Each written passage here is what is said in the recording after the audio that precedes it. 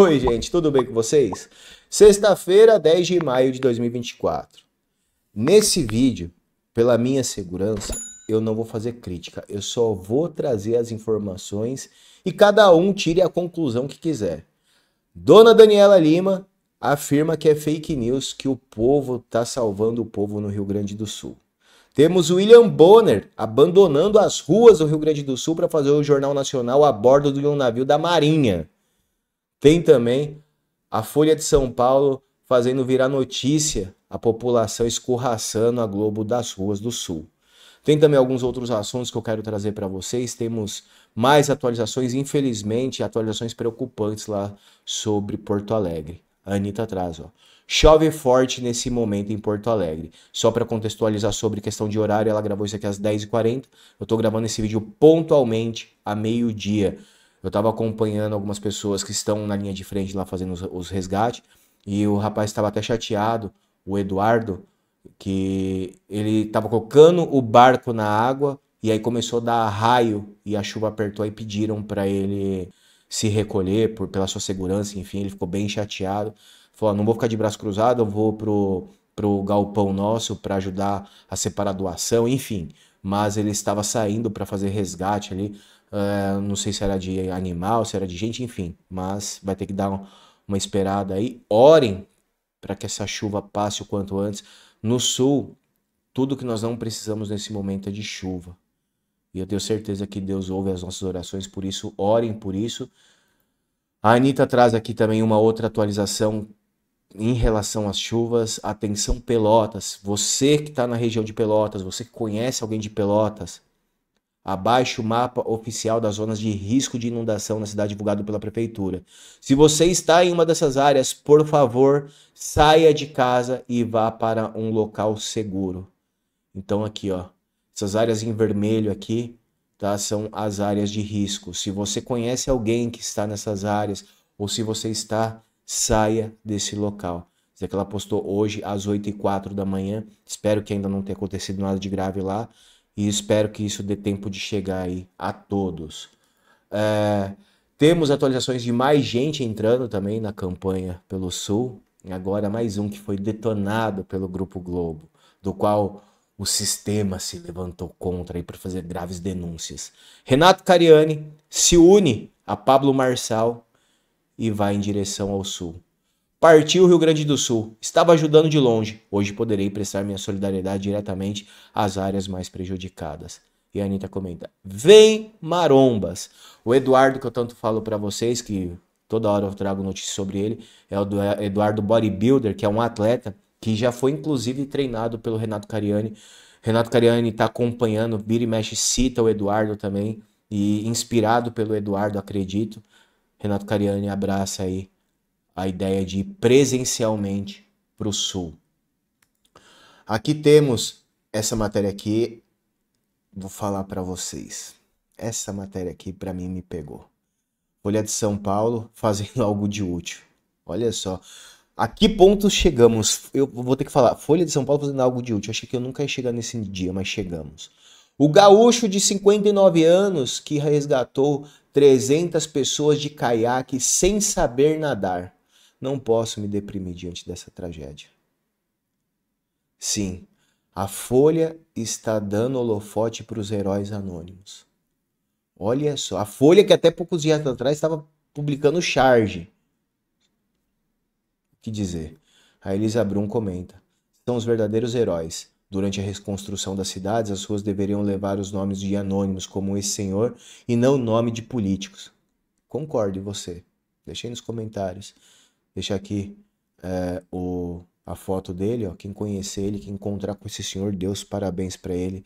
Afinal, gente que era pra estar tá nas águas e ele que nem nadar não sabe, tá lá.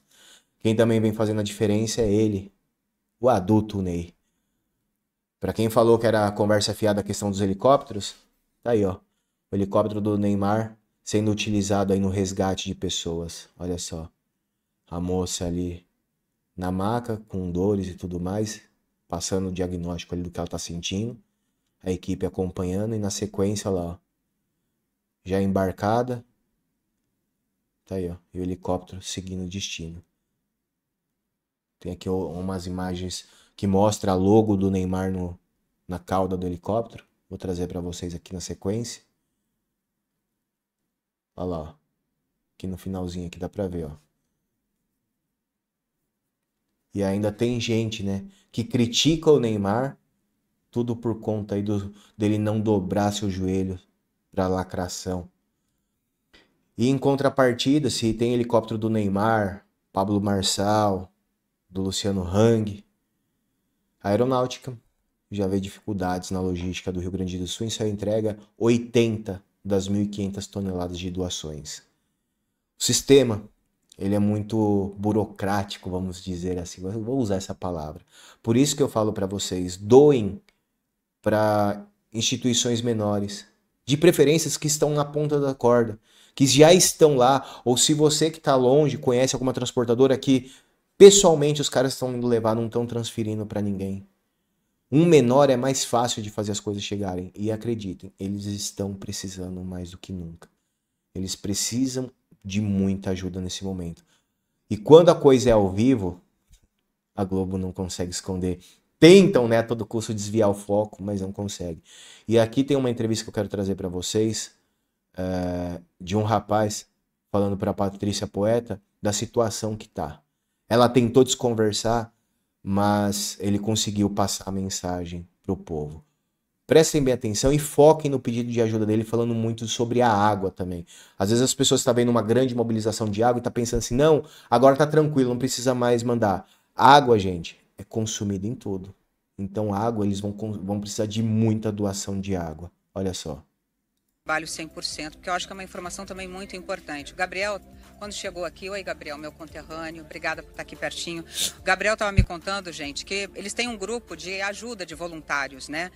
E um dos pedidos qual foi? Conta pra gente. É, tem alguns pedidos importantes aqui que o pessoal tá levantando.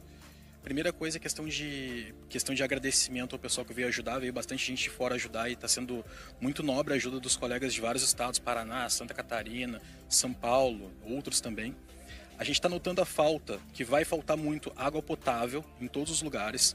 É, a gente viu que foram dispensadas ajudas internacionais, inclusive do Uruguai.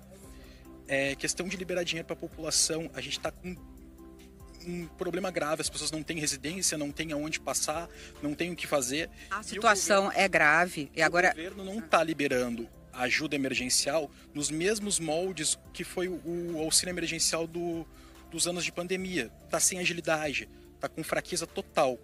Não tem segurança nos abrigos, as pessoas estão sendo agredidas nos abrigos. Então está muito perigoso. Por exemplo, em Canoas teve uma facção que invadiu um abrigo para vocês terem uma ideia. A lista é grande, mas o que eu queria contar para vocês aqui. A Prefeitura de Canoas está barrando entrada de alimentos que não venham pela Prefeitura de Canoas. Isso é grave. Não tem um plano de contingência de domicílios, já deveria ter sido pensado. E a gente precisa de um plano de profilaxia para leptospirose, porque essa água é imunda. A lista é grande. Isso é tudo no grupo de voluntários dele, gente. Mas o que eu queria contar exatamente é o seguinte: que é, foi feito um pedido para que em Canoas vocês fossem retirar os corpos. Tem muitos corpos em Canoas, é isso? É, o pessoal do grupo de veteranos comentou que estão retirando corpos e aqui dos nossos grupos de resgate pediram para retirar corpos também de pessoas que estão sendo é, que morreram na enchente e que estão pedindo para ser retirados. E muitas pessoas estão querendo ficar nos imóveis por risco de saque, por medo ou por algum outro tipo de medo e não estão querendo sair para serem resgatadas. Quando é ao vivo, a Globo não consegue esconder. Eu até dou risada de ver essa situação. Não, óbvio, pela gravidade, mas por ver Patrícia Poeta ficando completamente constrangida por não conseguir esconder a, reali a realidade. Parabéns a esse homem que trouxe aí, em poucos segundos, oito problemas e aí nem a Patrícia Poeta ela joga a toalha e fala: "Não, vamos falar aqui o português claro". Então, também tem a questão aí de quem perdeu suas vidas que precisa também ser retirado de lá. Ou seja, aqui a gente consegue ver que tudo aquilo que vem sendo denunciado em todos os outros dias não tem nada de conversa fiada. Quando é ao vivo e quando eles conversam com quem está na ponta da corda, quem está lá na linha de frente, é esse o resumo. E enquanto tudo isso acontece, a gente tem que. Ai, meu Deus, tem que ter paciência para trazer um trem desse. A gente tem que ver a outra aqui falando umas asneiras. O Marco Antônio Costa atrás. Globo News agindo como polícia de opinião para reforçar a narrativa do, do Lula e Daniela Lima, servindo como propagandista do regime. Estão tentando silenciar qualquer voz contrária. Por isso, talvez, que vocês vão ver no próximo vídeo, daqui a pouquinho eu vou mostrar William Bonner fazendo o Jornal Nacional direto do avião da Marinha. Porque das ruas é aquele cenário. Agora, quando a gente vai para o estúdio da Globo, olha o que, que eles tentam pintar. Três eixos principais, segundo os especialistas, tá? Eles têm ali. É, primeiro eixo é o de dizer que o Estado nada faz. Então, o que, que eles usam? Então, se você vir isso, desconfie. O primeiro eixo de fake news. O Estado nada faz. O que, que eles dizem? Eles usam vídeos, vídeos falsos, descontextualizados, para dizer que quem está salvando o Rio Grande do Sul no braço são os voluntários, são os civis.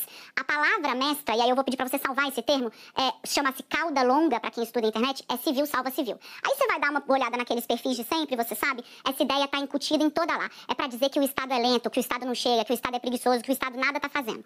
A outra ideia que está centralizada no disparo de fake news, e aí você tem diversas fake news com essa mesma ideia, é a de que o Estado atrapalha, vocês vão ver circulando um vídeo que dá a entender, e nesse caso o exército virou o principal alvo. É como se os disseminadores, disseminadores de fake news da extrema-direita lá de trás tivessem indo à desforra agora por conta do que o exército não fez no 8 de janeiro. Alguns deles escrevem isso mesmo, né? Como vocês sabem, eles pediam um golpe, as Forças Armadas não apareceram e aparentemente eles estão querendo é, manchar a imagem das forças agora nesse episódio. Então, nesse, nesse, eixo, o primeiro eixo é o governo não aparece, não veio. Mentira. Não só tá lá o governo federal, as Forças Armadas, como o governo de São Paulo, o governo do Mato Grosso, o governo de Goiás, o governo do Rio Grande do Norte, de Pernambuco tem muita gente lá. O Brasil que sabe quem é de verdade está lá, né? O outro eixo é esse, o Estado atrapalha. Então são vários vídeos que dizem, olha, não estão deixando chegar muito. Desculpa, eu não tenho paciência. São 3 minutos e 42. Aqui vocês já viram o que dona Daniela Lima traz. E é engraçado que ela iguala os estados com Lula. Não vou comentar, afinal, hoje quem comenta, enfim. Cada um tire a sua conclusão sobre isso que dona Daniela Lima. O que eu acho estranho é que agora, acabei de trazer aqui, ó. O Eduardo Cavendish compartilhando um vídeo da Patrícia Poeta nas ruas, mostrando um cenário completamente oposto. Alguém que está nos resgate, trazendo pedidos de ajuda, demandas completamente opostas ao que Dona Daniela Lima faz. E aí agora eu fico me perguntando por que que o William Bonner traz aqui, ó, Jornal Nacional hoje a bordo de um navio da Marinha. Aí a Elisa Brum comenta, né? Bonner fugiu da população? Jornal aí, Nacional ó. hoje a bordo de um navio da Marinha. Nós vamos apresentar daqui, das águas do Guaíba. Oi? Em uma situação caótica, é sério que eles vão usar de plano de fundo as águas calmas, tranquilas, com o pôr do sol, tá de sacanagem, né?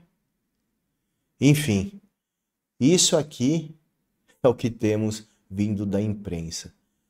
E para finalizar, mais duas aqui, ó, aonde o Felipe Barros traz mais uma mentira do Grupo Globo. Porta-voz extraoficial do governo Lula e jornalista nas horas vagas, a Daniela Lima, da Globo News, ontem mesmo disse que quem divulgasse que poderia haver desabastecimento estava propagando fake news. Hoje o governo admite que haverá desabastecimento e via MP 1217-24 autoriza a Conab a importar excepcionalmente, excepcionalmente arroz. E ontem, aqui às 17 horas, Daniela Lima postava. Ainda no enxame de fake news, o terceiro eixo é o pânico econômico. E aqui, importante, até o ministro da Agricultura recebeu áudio falando do saco de arroz a 70 reais. Falso. Não teremos desabastecimento, garante o Carlos Fávaro. E aí, na sequência, vem aí, ó, hoje o governo admitindo, através aí da Conab, para autorizar a importar o arroz. E diante desse cenário, nem a Folha mais consegue esconder. Socorrista grita Globo lixo e fora Lula durante a entrevista da CNN.